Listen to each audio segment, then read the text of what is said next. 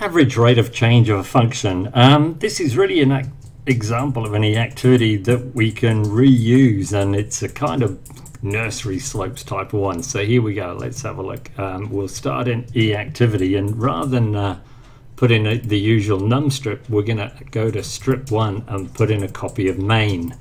And um, so this is ideal because we can save a whole load of um, procedures now that we normally carry out in a main window.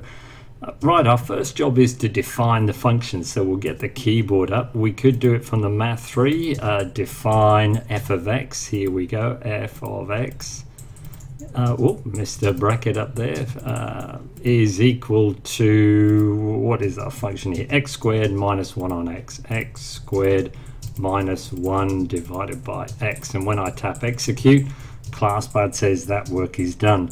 Now the next thing we need to do is if we're doing an average rate of change of a function we need to know from where to where. So I'm going to tap on this icon down here, puts a set of square brackets in and in there in our example say we want to know the change of this function as we go from 2.5 comma up to 3. So those will be our beginning and end and we'll store these values into um, variables maybe a and b so again we'll put the square brackets there.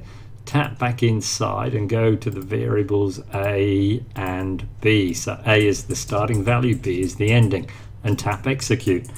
Um, now we need to build our function to calculate the average rate of change. So the next one is to put a fraction up and we want from the math 3 we'll have f of b f of um, variable b close the brackets minus back to our math 3 f of variable b so brackets wrapped around b. And downstairs oops that should have been an a. Let's just correct that of a. And downstairs we simply want the uh, difference in the values b minus a.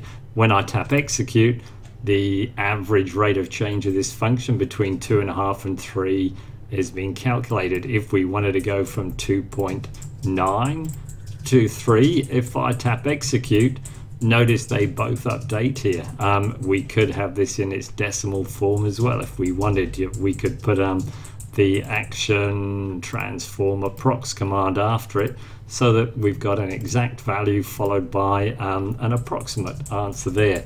So let's hide the keyboard, tap resize. So there's our basic um, E activity with a few lines going on in it. Now, our next step is to maybe save this or cross that window by tapping the cross in the corner there. We'll give this a name, maybe from the ABC tab here. This could be average, um, a average rate of change or something like that, rate of um, change. That'll do us. And then we can go file save or we could pop this into another reactivity. Let's find a suitable folder here to save it in and we'll call this average um, rate of change or something like that. Save.